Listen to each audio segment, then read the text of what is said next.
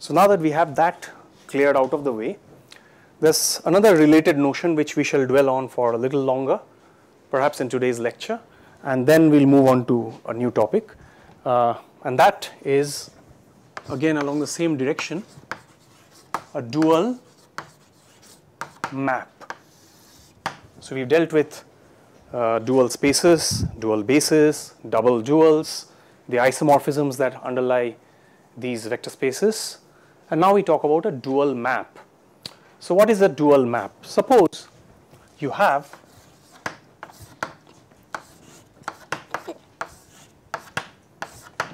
suppose you have linear maps from V to U, all right? These are of course vector spaces as we argued earlier, right? Now let, okay, so T belongs to this. Okay. Then T prime, this is the dual map. So let's first see where it comes from and that's going to be interesting to see.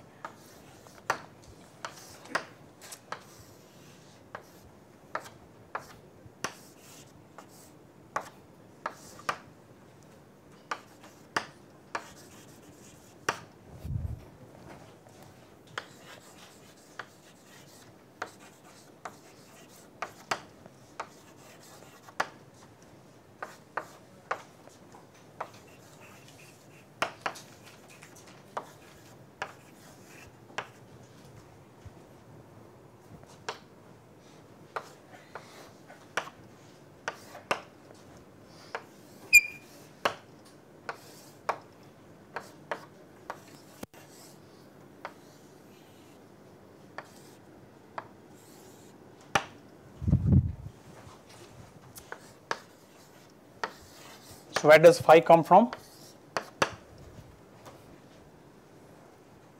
Where do you think does, does phi come, come from? See, I am defining something new. I cannot use too many new things here. Everything else must be well known. So this T prime is the map that I am defining now. But I cannot define it in terms of things that I do not understand. So on the right hand side, whatever I have, I should know what each of them does. So, where does phi come from according to the definition? Dual of u, exactly. Thank you. right? So, this is the way we define the dual map. Now, if I ask you to think about uh, this point a little bit, and maybe again related to things that you understand better, which are probably matrices, what can you think of? What image does this strike in your heads? For example, the moment I say T, you should think of a matrix from some n dimensional vector space to an m dimensional vector space and so on. So an m cross n matrix, right? Now when I talk about this, what does it remind you of in terms of matrices? Not really inverse. Inverses may not exist, no, as we've seen. But transpose, yeah, transpose is the answer. The reason why it's important to keep that in mind is because every time you see some results that seem familiar, you'll know why it seems familiar because it is exactly something you've dealt with, transpose of a matrix, okay?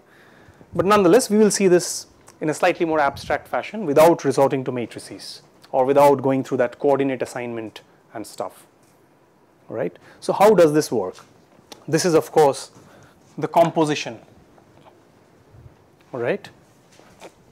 So once we have described uh, or defined the dual map, it is then befitting that we try and understand this map in terms of its two very important subspaces, which are the kernel and the image. But if I just tell you, oh, the kernel of this is dependent on such and such very complicated objects, it might not carry much meaning. On the other hand, if I can describe the kernel of this new map that I am calling as the dual map in terms of some known objects, in terms of maybe this map, then perhaps I'll have some better insight. So that is what our goal is going to be, to describe the kernel and the image of this new map, this dual map, in terms of what we understand about the original map. But please do remember that there is this to be borne in mind. This is a mapping from V to U. This is a mapping from the dual of U to the dual of V. Okay? So this is a mapping from functionals on U to functionals on V. Okay? But if you think of matrices, of course, it doesn't look so weird. These are basically the row pictures of U. These are the row pictures of V.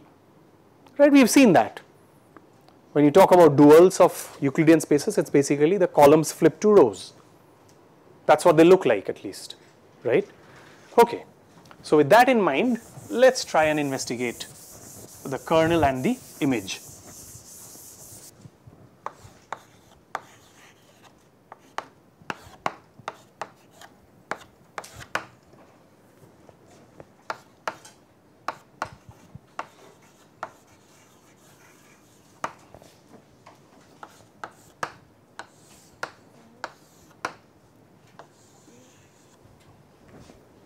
Okay. So that is an interesting observation. And you might think, oh, I suddenly plucked it. Of course, I know it, so I cheated. I just wrote it down like that. But once I do the proof, you'll see there's nothing much to it really. Okay. What is it saying? So let's try and understand first where these subspaces, these are subspaces by the way, right? So kernel of T prime is a subspace of what? Maybe I should just write in small letters here. This is VU and T prime is coming from L U prime V prime.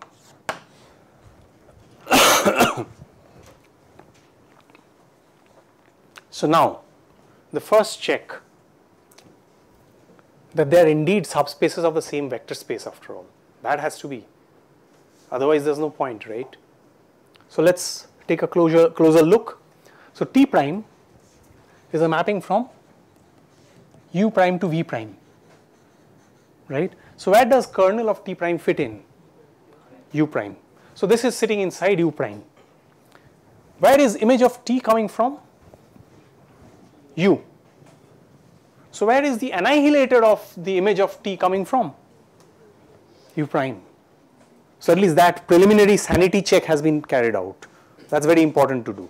But now we want to see why this is going to be true. Okay. So let's do a quick sketch of this. Suppose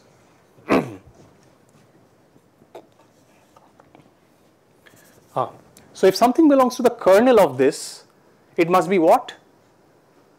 It must be a functional, right? Functional in what? Residing where? Inside u prime, right? Yeah? So suppose this phi belongs to kernel of t prime, right? This means t prime of phi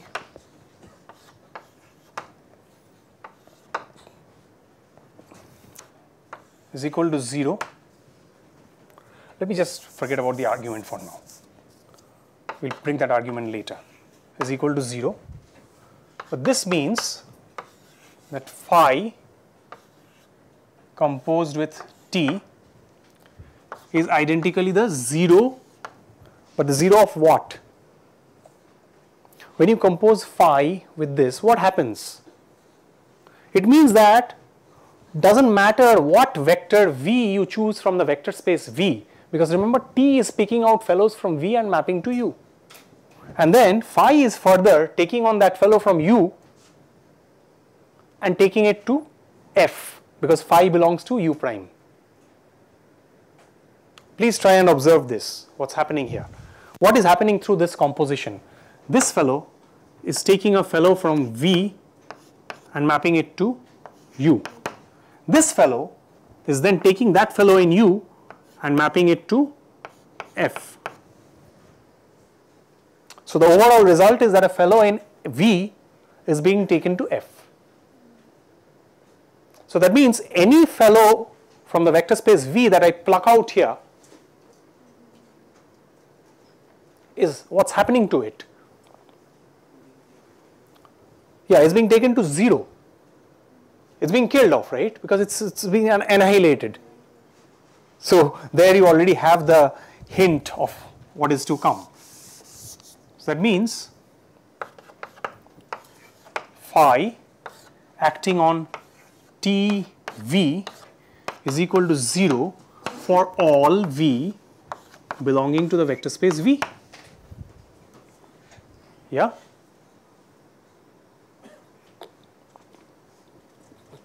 Any questions on this so far? This is true. But what are fellows like these also known to belong to? If you can choose any arbitrary fellow V and allow T to act on it, what you're essentially saying is that you give me anything from the image of T. So whenever phi acts on any fellow in the image of T, it totally annihilates it. Right? Because you are allowed to choose V freely. This is identically true means you can choose any V and it's going to go to 0. If you can choose any V, like you can allow T to act on any V, it means you can choose any fellow in the image of T. Now any fellow in the image of T gets pulverized or annihilated by phi, right. So therefore phi belongs to image T's, okay I have used the whole word image, image of T's annihilator. So I started with something in the kernel of T prime and I ended up showing that it must belong to the annihilator of the image of T. So one sided inclusion is done. But let me now just flip the direction. So I'll use a different color and again because I'm lazy I'll just go ahead and tell you to flip the argument and see that this works both ways. You start with something that pulverizes fellows in the image of T. It means that for every V that you can pick out, if you let T act on it, it belongs to the image of T and such fellows are pulverized by it. That means phi composed with T acting on any vector is 0. That means phi composed with T is 0. That means T prime by the definition of the dual map, T prime acting on phi is 0. That means phi belongs to the kernel of T prime. So all I am going to do is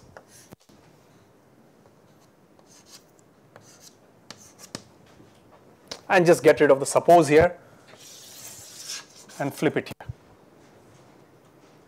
right. Any doubts? So this is indeed the case that there is both sided inclusion. Once something belongs to the annihilator of the image of T, it must belong to the kernel of T prime and if it belongs to the kernel of T prime, it must belong to the annihilator of the image of T.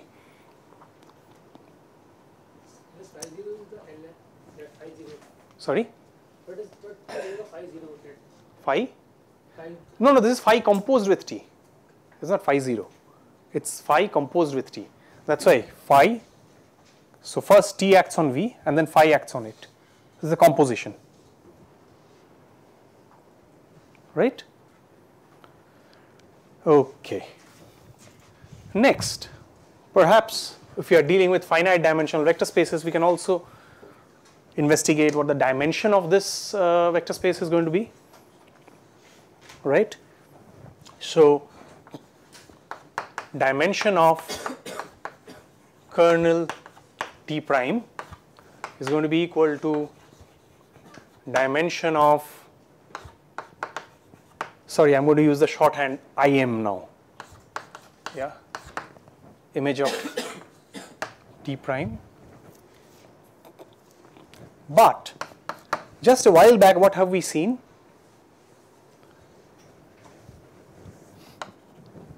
so dimension of image T plus dimension of image T's annihilator is equal to dimension of what? Tell me. Sorry? Image of T is coming from where? Image of T is coming from where? Yeah? So basically image of T, just that's why we do proofs, you see. We don't memorize results. When we did the proof, you saw how we went about building this result, right? We took a basic a vector space, took its basis, extended it until we got the vector, uh, basis for the complete vector space. So start with image of T as that vector space, subspace, subspace sitting inside U, extend it to U, right? And then the annihilator will complete the number of elements in the annihilator that completes the argument. So this is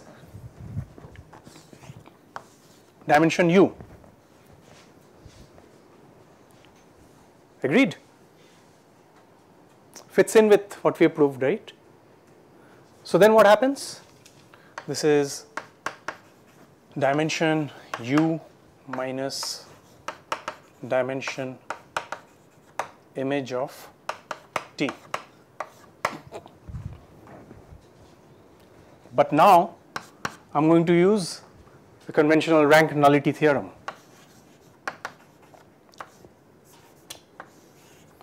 Dimension u minus what is dimension image of t from rank nullity theorem?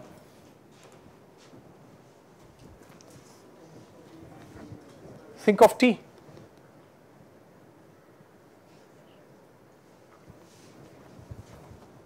Yeah? What is it? Dimension image T plus dimension kernel T is equal to dimension V, is it not? So what am I going to substitute there?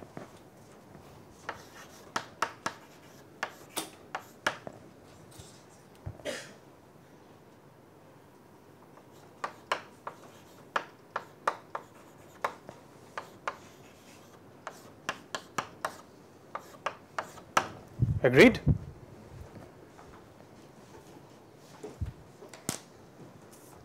Make sense? When I say make sense, go back to the matrix picture. Think about what for a matrix T and its transpose T prime will be the number of rows and columns. What will they correspond to? The sizes of V or U or which ones? And check out if it's indeed true you know that the rank of a matrix and its transpose are the same because the row rank and the column rank are the same. So just see if this sort of fits in with that picture.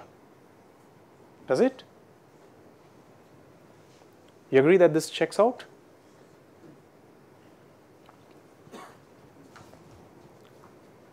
See, the ranks will be equal, the nullities won't be equal. Of course, the nullities can, can't be equal, right? They can't be because there are different number of columns and rows potentially unless the unless the uh, vector spaces are of same dimension, unless it's a square matrix, the nullities cannot be the same. If the ranks are same, the nullities cannot be same unless the vector spaces are of same size or same dimension. Right? And that's that difference is exactly what's being captured through this. Right? So when I say check out, it means basically get your hands dirty and think of matrices, right?